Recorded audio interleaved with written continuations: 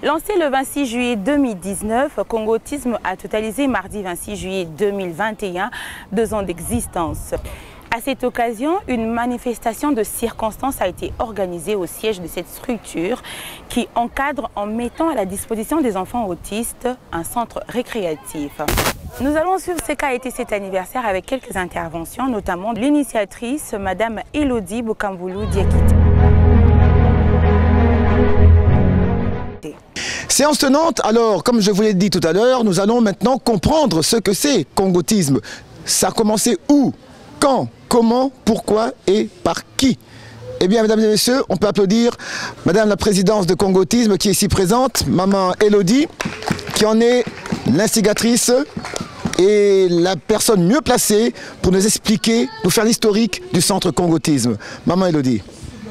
En fait, ce que je peux dire, c'est que moi-même, j'ai quatre garçons, dont les deux premiers sont autistes. L'aîné même est venu avec moi, on va l'amener d'un moment à l'autre. Quand je suis venu ici, j'ai vu que c'est pas qu'il n'y a pas d'école, il y a quelques écoles pour les enfants autistes. Non, non, c'est bon, c'est bon, c'est bon, allez-y, allez-y. Il y a quelques écoles pour les enfants autistes, mais les parents qui ont des moyens pour payer les écoles, ils envoient les enfants à l'école. Mais ceux qui n'ont pas de moyens, leurs enfants sont à la maison. Ça, c'est clair et tout le monde est au courant de ça. Alors, quand je suis venu, au début, c'était un centre de diagnostic, juste pour diagnostiquer les enfants. C'était ça, c'est tout. Mais qu'est-ce qui se passe? Qu'est-ce qui se passe après? Quand on diagnostique les enfants, quelques mois après, on demande les nouvelles des parents. Ça va, oui. Et l'enfant, ah, il va bien. Eh, maintenant, il fréquente l'école. Ah, on a été à l'école, mais maman, on n'a pas d'argent pour payer les frais. Une fois, oui. Deux fois, oui. Trois fois. Ça commence à être beaucoup de parents. Les, les parents de Tchango là-bas, la maman te dit carrément, madame, on n'a même pas 50 dollars pour manger. Vous, voulez me parler de Minerval? J'ai payé ça avec quoi? J'ai dit non. Ça, il y a quand même un souci. On fait les diagnostics, oui, mais les enfants, ils retournent dans les maisons parce qu'il n'y a pas de frais. L'école aussi ne peut pas être gratuite parce que la, personne qui fait l'école là doit payer les loyers, doit payer les, les, travailleurs qui sont dedans. Donc moi, je dis, dans ces cas, créons un centre hein, qui n'est pas une école, mais qui accueille les enfants pour venir jouer avec des, jeux socio-éducatifs. C'est comme ça qu'on a ajouté centre récréatif. Les centres là maintenant, nous accueillons des enfants qui sont autistes, qui ont été diagnostiqués, mais qui sont... L'air quand même commence à se dégrader parce que tellement il, est tout le temps à la maison, il ne va pas à l'école, il ne fréquente pas d'autres enfants. Alors, à Komi à Kangami, leurs parents sont ici, quelques-unes que les mamans vont témoigner. Donc quand on a fait centre récréatif, on a dit L'histoire de Minerva, c'était là-bas. J'ai été voir le, gouvernement, j'ai dit, aidez-nous parce que moi, je ne vais pas faire payer les parents, les Minerval. Moi, j'ai des enfants autistes à Bruxelles, ils ne payent rien. On nous paye même, nous, qui envoient des enfants handicapés, autistes. Nous, on est payés.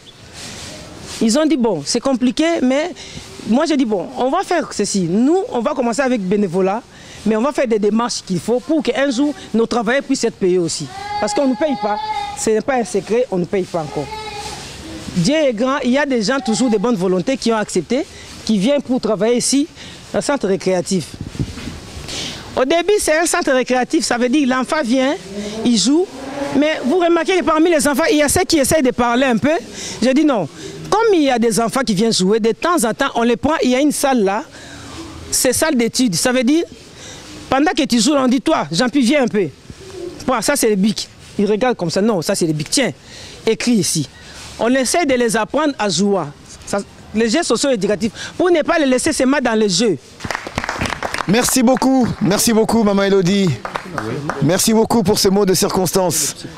Et de là, alors pour joindre l'utile à l'agréable, nous avons aussi, comme Maman Elodie l'a présenté, ceux qui font un travail parmi ceux qui font un grand travail. Ils sont nombreux. Parmi eux, nous avons ici le docteur Kadi, que je vous demande d'applaudir pour le grand travail qu'il exerce. Le docteur Kadi, qui a aussi son petit mot. Bon, merci beaucoup. Euh, je suis M. Kadi, je suis psychologue clinicien. Généralement, il y a des gens qui nous appellent euh, euh, médecins, docteurs. Mais je suis ici à, à Congo Autisme pour euh, une mission en tant que psychologue.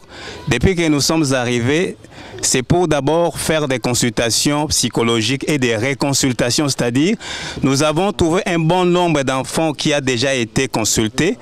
Bon, avant de pouvoir commencer à travailler, prendre en charge ou faire l'accompagnement des enfants, nous devrions d'abord connaître ces enfants. C'est la raison pour laquelle nous devrions d'abord réconsulter ces enfants pour pouvoir connaître leurs problèmes. C'est à l'issue des consultations, lorsque nous connaissons leurs problèmes, que nous arriverions à pouvoir euh, déterminer les activités à faire. Comme vous avez entendu maman tout à l'heure, qu'en début c'était un centre récréatif.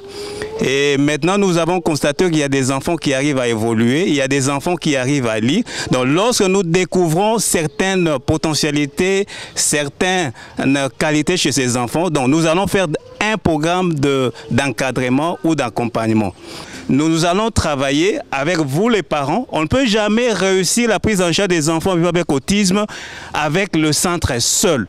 Donc on a besoin de tout le monde. Tout le monde devrait mettre la main à la pâte pour que nous puissions arriver vraiment à bien, bien s'occuper de nos enfants. Elle va témoigner un peu. Témoignage de la part d'une maman qui a deux enfants ici. D'accord. Voilà, je, je tenais à témoigner que je tenais à témoigner que j'ai deux enfants sur quatre qui sont autistes, diagnostiqués ainsi. Et d'abord aussi dire à maman merci et, dire euh, et encourager encore tous ses parents parce que beaucoup, beaucoup de parents gardent leurs enfants cachés. Ils ne veulent pas que les gens puissent voir que ces enfants-là sont malades. Alors je voudrais encore euh, encourager à tous ces parents qui ont ce courage-là que malgré les défauts de leurs enfants, ils les emmènent à l'école, sortir avec eux les moyens de transport, euh, les emmener jouer, ce n'est pas facile. Voilà. Et ici, à Congotisme, nous avons la gratuité. Ce n'est pas un acquis, tout le monde le sait, et nous voulons profiter de ça. De tout. Euh, maman disait qu'il y a peu de gens, mais ces peu de gens-là font un grand travail. Mes enfants maintenant, euh, y a l'un qui peut aujourd'hui vous le laissez à la maison, vous, lui dites ferme la porte après moi, il ferme. Quand vous arrivez, vous frappez, coco, c'est ouvre-moi. Il sait vous ouvrir. Il s'est débat un peu, mais donc il y a évolution. Elle disait que ça a commencé au mois d'avril et là nous sommes au mois de juillet. Et il y a Karl l'aîné qui, il sait maintenant saluer. Donc les choses évoluent. J'ai dit vraiment beaucoup, merci beaucoup à maman. Rapportez-nous tout ce que vous avez de Bruxelles ici à Kinshasa parce que nous sommes vraiment dans le besoin. Il y a encore beaucoup de services à ajouter ici. Et comme on a dit, chaque parent peut apporter un petit truc pour qu'ensemble nous puissions former un truc, euh, euh, sortir vraiment nos enfants, qu'ils aient aussi dans des, fréquenter dans, des écoles normales et qu'ils soient des grands hommes demain. Moi j'espère, je crois en ça, qu'ils seront grands demain. Oui, voilà.